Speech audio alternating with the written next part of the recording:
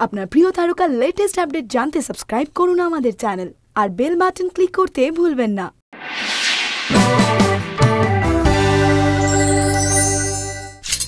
Bangla industry versus বস বোম্বাদা মলাট চরিত্র হলে কাজ করবেন না। না, মুখের ওপর ঠিক এমন কথা বলেননি বটে কিন্তু সৃজিৎ মুখোপাধ্যায়ের জুলফিকারের অফার অনেকটা এমনি ঢঙেই ফিরিয়ে দিয়েছিলেন জিৎ। বাংলা ইন্ডাস্ট্রির রেটিং টেবিলের এক এবং দুই নম্বরে থাকা এই দুই স্টারের ঠান্ডা লড়াইয়ের কথা কারোর অজানা নেই। একসাথে ছবি তোলা অথবা জন্মদিনের শুভেচ্ছা বার্তা পাঠানো কিংবা দেখা হলে প্লাস্টিক হাসি, এই ধরনের সিলেবাস মাফিক কাজ ঠিকঠাক চললেও দুজনেই যে দুজনের সাফল্য একটু ব্যাকা চোখে দেখেন, সেটা কারোরই নজর এড়ায় না। হবে নাই বা কেন? রূপলি পর্দায় জিতের রাইজিং এর পরপরই রব উঠেছিল এই বুঝি বুম্বাদার নোটে গাছটি মুড়লো। শিকারি বেড়াল গোপ তো ফুলবে সাত তাড়াতাড়ি তাই অটোগ্রাফে অরুণ চ্যাটার্জিকে ঘোষণা করতে হয় I am the industry Arun Chatterjee.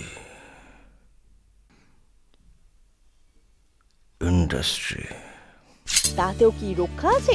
A Bangla industry তো আরেকজন বস সূর্য কোনো একজন নয় সূর্য একটা ব্র্যান্ড।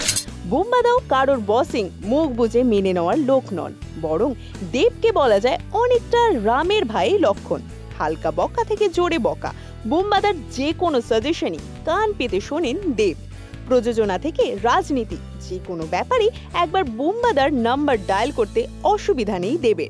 দেবের চাঁদের পাহাড়ের রিলিজের জন্য নিজের জাতিস্বরের রিলিজ পিছিয়ে দিয়েছিলেন প্রসেনজিৎ। সেটা অবশ্য শুধু স্নেহের প্রতিদানে নাকি নামি প্রডিউসারের চাপে সেটা বোঝা মুশকিল? বলাই বাহুল্য, দেবের সঙ্গেও সম্পর্ক মোটেই ভালো নয় জিতের। সেটা হওয়ার অবশ্য অনেক কারণ রয়েছে।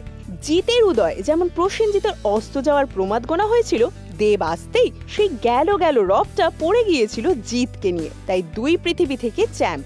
সম্পর্ককে চার্জ করা তো দূরে থাক, ক্রমশ ডিপ ফ্রিজে ঢুকিয়ে দিয়েছে। সিটি সিনেমা ইউটিউব চ্যানেলটি আপনাদের ভালো লাগলে লাইক করুন, সাবস্ক্রাইব করুন এবং অবশ্যই কমেন্ট করুন।